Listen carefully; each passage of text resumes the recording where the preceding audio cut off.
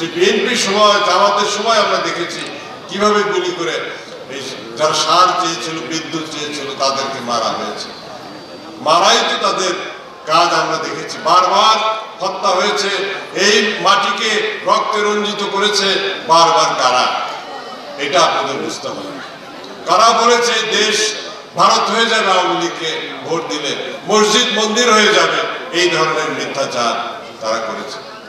কিন্তু সব মিথ্যাচার যে প্রমাণ হয়ে গেছে। তারা যখন ক্ষমতায় ছিল, আপনি আপনাদের বলে গেলে চলবে না, কীভাবে লুটপাট হয়েছে, কীভাবে হাওয়া ভবন তৈরি হয়েছিল, এবং কীভাবে মানুষকে অত্যাচার করা হয়েছিল, কীভাবে হত্যা হয়েছিল, কীভাবে গ্রেনেড হামলা হয়েছিল, সেই সময় সিরিজ বোমা হয়েছিল, বাংলা ভাই তৈরি হয়েছিল, শায়েক আব্দুর রহমান্না তৈরি হয়েছিল। আপনারা সকলেই জানেন, আমরা ওই অন্ধকার যুগে ফিরে যেতে চাই না। আমরা আলোতে যেতে চাই। শেখ হাসিনা সে আলো দিচ্ছে। সামনে নির্বাচন। নির্বাচনে তারা লোকের কাছে যাবে কি? ভোট যাবে কি? তা না করে তারা রাস্তার মধ্যে গাড়ি পোড়াচ্ছে। মানুষকে অগ্নিদগ্ধ করছে।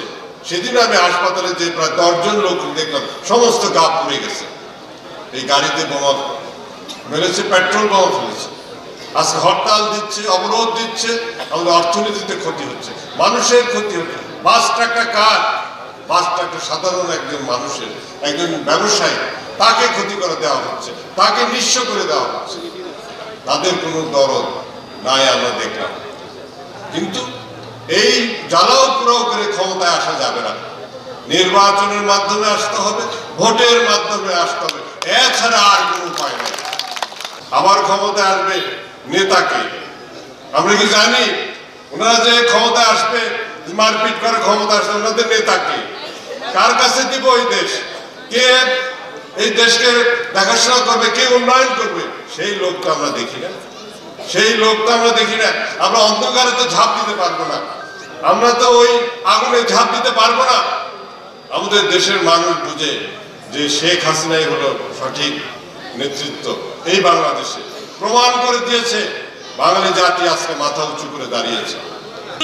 বলেছেন, ওই বিএনপির ভাইরা, আপনারা তো বললেন না, আপনারা তো ধর্ম নিয়ে রাজনীতি করেন, ওই জামাতের ভাইরা।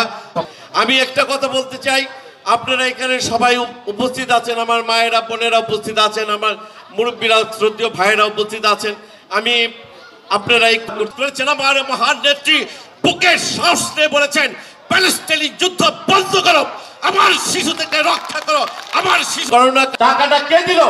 একটা ইঞ্জেকশনের দাম, একটা ভ্যাকসিনের দাম দশ হাজার টাকা। তাহলে টাকাটা কে দিল?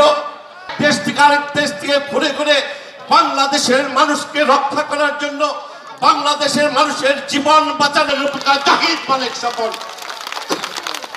জাহিদ মালিক সফল এই আমরা থাকতে পারতাম না, আমরা বেঁচেই থাকতে পারতাম না। আমাদের বাঁচাই অনিশ্চিত ছিল। তাই আপনাদের কাছে বলতে চাই, ফিলিস্তিনিরা দামার শিশুকে হত্যা করছে বোনের বোনের শিশু তার মাকে হারিয়েছে, পিতাকে হারিয়েছে, মা এবং পিতাকে হারানোর পরে একটি শিশু তো শুধুমাত্র এক ফোঁটা দুধের জন্য মা মা বলে চিৎকার।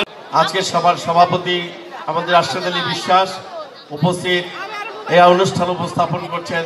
আমাদের পৌরসভা আওয়ামী লীগের সাধারণ আপনারা তো ভোট নিয়ে আমাদের সাথে আর দেখাও করেন নাই, আমাদের ভোট নিয়ে আমাদের মানিকগঞ্জের কোনো উন্নয়ন করেন নাই। মানিকগঞ্জে মসজিদ, মাদ্রাসা, ব্রিজের অধীনে প্রতিদিনই মারামারি, প্রতিদিনই কাটাকাটি, প্রতিদিনই গোলাগুলি প্রতিদিন অস্ত্রবাজি। এই অঞ্চলে নিত্যের মধ্যে প্রতিদিনের ঘটনা ছিল। এই ক্ষমতা, এখানে কোনো চেতাবাজি হয়, এখানে কোনো মাস্তানি হয়, এখানে কোনো রামবাজি হয়, কেউ বলতে পারবেন না ইনশাল্লাহ আমরা মাথা উঁচু করে বলতে পারি, এই হতে পথ মানুষ শান্তিতে, নির্বিঘ্নে পথ চলতে পারে। আমার মায়েরা, বোনেরা, রাত নাই, দিন নাই রাখে না। কারণ এই এলাকার এমপি হচ্ছে জাহিদ মালিক সবার। উনি অত্যাচারকারীকে, উনি বাস্তানদেরকে চাঁদাবাজি সন্তানরা আবার এখানে দাঁড়াবার জন্য পায়তারা করেন। আমরা বলতে চাই, জাহিদ মালিক স্বপনের পিতার নাম কর্নেল মালিক। কর্নেল মালিক সাহিত্য আছে মানিকগঞ্জের এই মাটিতে। অটোমেটিক বিকাশ করতে সেট করুন অটোপে বিকাশ থাকলে আর কি লাগে?